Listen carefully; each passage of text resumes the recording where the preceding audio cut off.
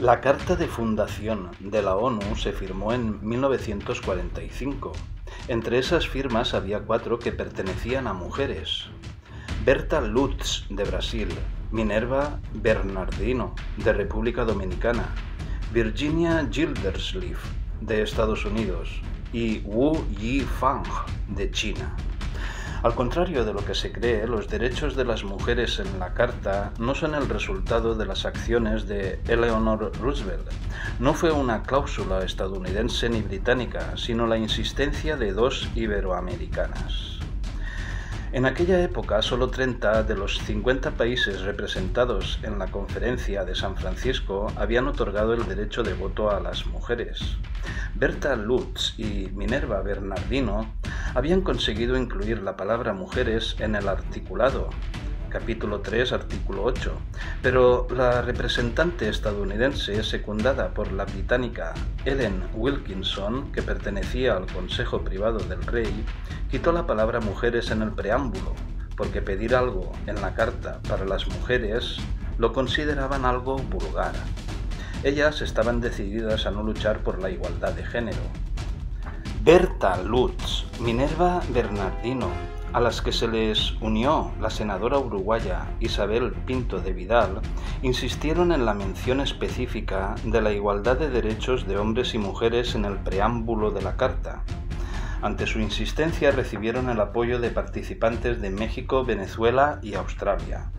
La australiana Jessie Street dijo que debe mencionar específicamente a las mujeres en la carta, de lo contrario no tendrán los mismos derechos que los hombres. Lo vemos una y otra vez. Esto terminó de convencer a Virginia Gildersleeve. El texto quedó así. Reafirmar la fe en los derechos fundamentales del hombre, en la dignidad y el valor de la persona humana, en los derechos iguales de hombres y mujeres y de las naciones grandes y pequeñas. La dominicana Minerva Bernardino pertenecía a una familia liberal. A los 15 años quedó huérfana y se mudó a Santo Domingo y finalizó la escuela secundaria. Fue una de las primeras mujeres en hacerlo en República Dominicana, empezando una carrera en el servicio civil. Se hizo feminista cuando, al promocionar en el servicio civil, no recibió el sueldo correspondiente, ya que le dijeron que una mujer no podía recibir más dinero que un hombre. En el año 1945 fue elegida delegada de la República Dominicana y enviada por el dictador Rafael Trujillo, que lo hizo como una oportunidad para parecer progresivo, Posteriormente, Bernardino se quedó como diplomática de República Dominicana en la ONU.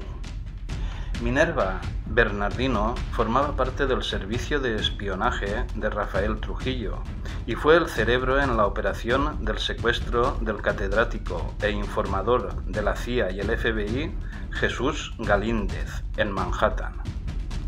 Minerva Bernardino tenía dos hermanos, Félix Bernardino, que era jefe de operaciones criminales en Cuba, Estados Unidos y Centroamérica, de su jefe y amigo Rafael Trujillo. El otro hermano, Luis Bernardino, fue cónsul dominicano en Londres. En el año 1953 coincidió allí con el agregado militar de la Embajada Dominicana, el mayor Octavio de la Maza, que era piloto y estaba bajo las órdenes del hijo de Trujillo, Ramfis Trujillo, que era el jefe de la aviación dominicana, que además de compañeros eran amigos. Luis Bernardino, que era homosexual, se declaró a De la Maza y fue rechazado. Al ser rechazado intentó matar a De la Maza con un revólver. De la Maza ante el ataque se defendió disparando a Luis Bernardino, quedando ambos malheridos. Bernardino murió de un balazo y de la Maza con cinco balazos logró recuperarse y volvió a República Dominicana. Los hermanos Bernardino, Minerva y Félix acusaron a De la Maza de asesinato, sin embargo este tenía la protección de Ramfis, y el general Trujillo consideró el asunto como una reyerta entre amigos, como expuso en su informe su embajador en Londres pero Minerva y Félix Bernardino querían venganza. Jesús Galíndez era un jurista y diplomático vasco que se exilió cuando acabó la Guerra Civil Española en República Dominicana, donde trabajó para Rafael Trujillo. Allí fue contactado por la CIA para que les informase de españoles exiliados comunistas y también de falangistas que pasaran por allí. En 1947 consigue marcharse a Estados Unidos, pues teme por su vida, y entra a trabajar en la Universidad de Columbia. Allí prepara su doctorado con una obra que habla sobre la dictadura de Trujillo. En esa obra tiene intención de contar que Ramfis Trujillo no es hijo natural de Trujillo, las redes de vigilancia dominicana llevan la información a Minerva Bernardino, que inmediatamente escribe a Trujillo para comunicarle las intenciones de Galíndez. Trujillo enfurece y pide a sus hombres que le lleven a Galíndez. Minerva Bernardino se encarga de buscar a una chica que seduzca a Galíndez y lo anestesie, para que Félix Bernardino lo traslade vía Miami a Ciudad Trujillo. Habían contratado a un joven piloto estadounidense, Gerald Murphy, que había perdido su licencia para vuelos de largo recorrido por problemas de vista y realizaba cortos viajes turísticos. Le prometieron contratarlo para la aviación dominicana, donde coincidiría con De la Maza. En Ciudad Trujillo, Galíndez fue torturado y ejecutado.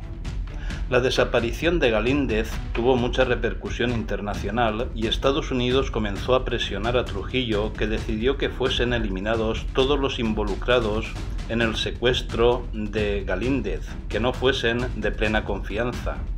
Murió la mujer de Manhattan, el médico que mantuvo a Galíndez drogado, el hombre que había llenado el depósito de la avioneta y también Murphy, el piloto estadounidense. Esto colmó el vaso y Trujillo necesitaba una cabeza de turco. El asunto quedó como si de la Maza hubiese tenido algún enfrentamiento con Murphy y lo eliminó como ocurriera tres años antes en Londres con Bernardino. De la Maza se negó a esta solución y fue detenido. En 1957, la propaganda de Trujillo dijo que se había suicidado en su celda. La realidad es que había recibido la visita de Félix Bernardino. Los Bernardino consumaron su venganza.